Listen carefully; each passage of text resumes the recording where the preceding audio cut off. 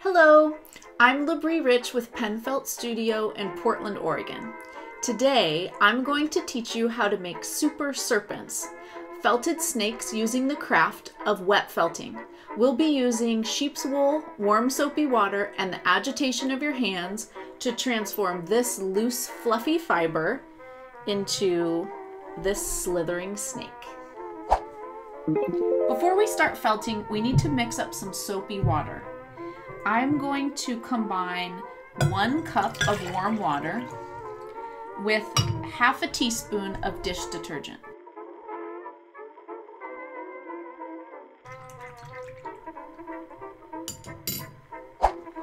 Now I'll take my pipe cleaner and I want to straighten it out a little bit.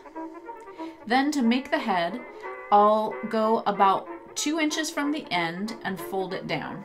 It doesn't have to be exact. Then I'll take that fold and kind of round it out a little bit and then twist it around. So this is the neck of the snake and this is the head. The first thing when I'm working with the wool fiber is to fluff it out a little bit.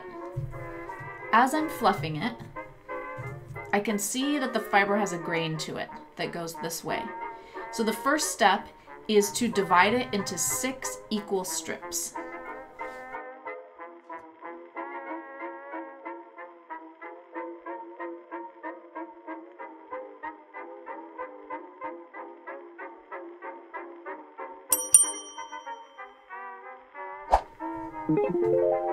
Now I want to wrap my fiber around my snake.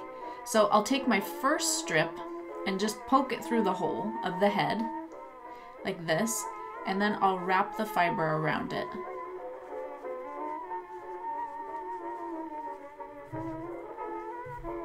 For my second strip, I'll take it and divide it in half so I have two short pieces. Then I'll take one piece and wrap it over the end of the pipe cleaner. So I've got the fibers going along the pipe cleaner this way. And then I'll take the next piece and cross over it. So that means now I've got the fibers kind of covering the whole head. To secure it, I'll take another piece of fiber and I'll start wrapping it around the snake. Now, I want to wrap it as tightly as I can. So you can see I'm kind of tugging it a little bit as I'm wrapping it.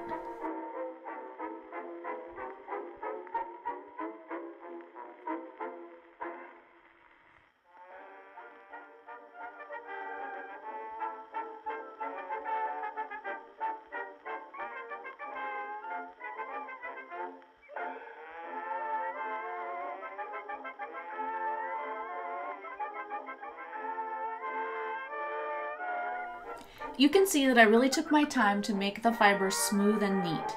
If you have any pieces that are falling off, oops, that one's kind of falling off. If you have any pieces that are like mine, take a minute to spread them out and really try and rewrap them tightly around your snake. The fiber should cling to it such that you could lay it down on the table and not have it all fall apart. I've got a gallon sized zip top bag and I'm gonna take my snake and lay it down inside the bag. Snug it in there in the bottom. And then I will take my warm soapy water that I mixed up earlier and I'm going to put a quarter cup of water into the bag. So I just used a quarter cup measuring cup there. Then I want to kind of squeeze the air out of the bag and zip it up. Now to tell if I have enough water, I squeeze the snake and kind of squish the water and the suds around. So this looks pretty good. What I want it to look like is fully saturated with water. So I don't see any dry places on my snake, but also my snake is not swimming in water. Now it's time to start felting. I want to squeeze and massage my snake for five minutes, so I'm going to set my timer. and I'm gonna start just massaging my snake in the bag. I want the fibers to be bunching up at the bottom, and I just want to give him a little back massage. I can rub it like this. Just scrunch it. Make sure the water is at the bottom.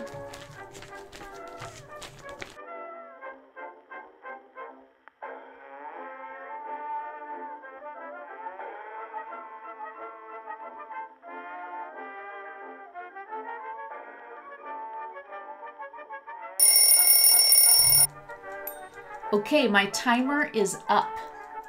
Before I take my snake out of my bag, I'm going to put a towel on my work surface.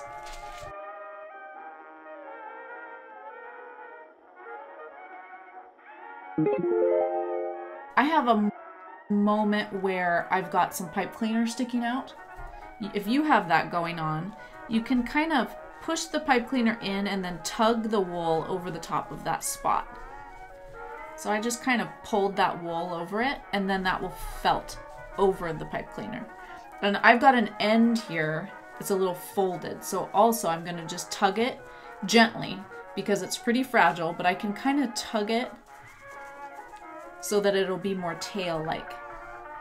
Now, this is still pretty thin for mine, so I'm gonna try adding a little bit of wool fiber on the outside and see if it will attach as I'm felting it. This is an experiment. You can try this with yours if you want. Okay, so there's my little patch experiment. We'll see how that works. I'm gonna roll my snake on a bamboo sushi mat. If you don't have a bamboo mat, you can just roll it on the towel. So I'll start by just gently rolling it back and forth. And I'm not pushing down too hard. I'm just sort of lightly rolling it. My fingertips are kind of resting on it. And the fibers are starting to rub back and forth on the texture of the bamboo.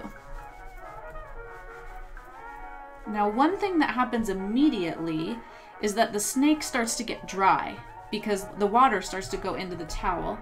So I can sprinkle just a little bit more water onto the snake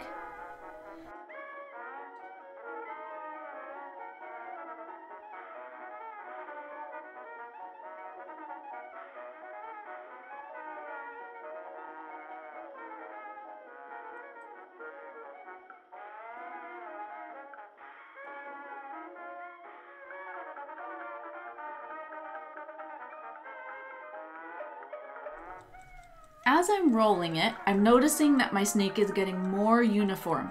The body is starting to shrink a little bit. Also, checking in on my patch, it is starting to attach to the body, so I'm optimistic that it will work. One thing about the patch is I need to make sure that it stays really saturated with water, so I keep adding water as I'm rolling it.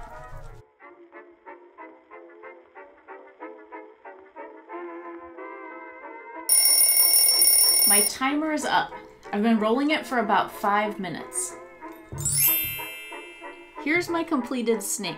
Let's compare it with a snake that I haven't felted yet. This is just a pipe cleaner with the wool fiber wrapped around. You can see how much the fiber has shrunk from your massaging the snake in the bag and then rolling it on the sushi mat. My patch worked pretty well. I don't see any pipe cleaner there, so that was a success. I'm also noticing that this snake grew quite a bit. Its the tail is a lot longer than the original pipe cleaner, which I kind of like. So before I let it dry, I want to bend my snake's body into a slithery shape.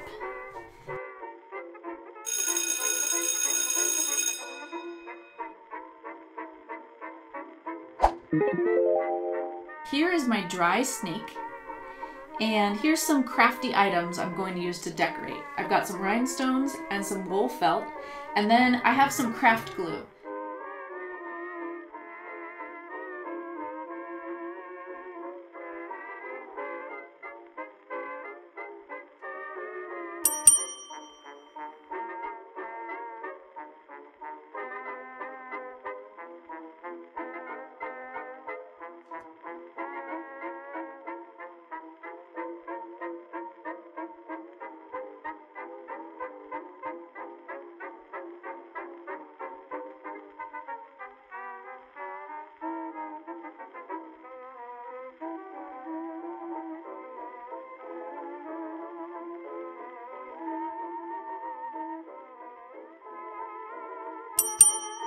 You can see here I cut some sunglasses out of the black felt. Here I just cut felt into eyeballs.